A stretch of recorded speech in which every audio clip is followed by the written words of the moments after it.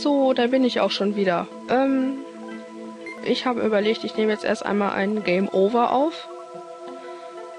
Und ähm, dazu werde ich jetzt hier nicht den Text lesen. Das machen, also ich werde das Video erst ganz zum Schluss hochladen. Nachdem ich Time Hollow abgeschlossen habe. Das werdet ihr dann noch sehen. Nur, dass wir halt einmal wissen, wie so ein Game Over aussieht. Oh, das tut richtig weh, dem dabei also so leiden zuzusehen. So.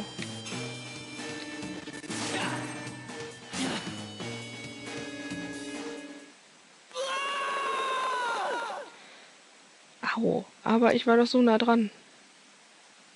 Aha, Lizenz bei Nintendo. Okay, das war's auch schon. Gut. Jetzt habt ihr ein Game Over gesehen. Gut. Dann mache ich jetzt mit der eigentlichen Story weiter. Beziehungsweise für euch ist das Spiel schon lange vorbei. Jedenfalls, das war ein Game Over.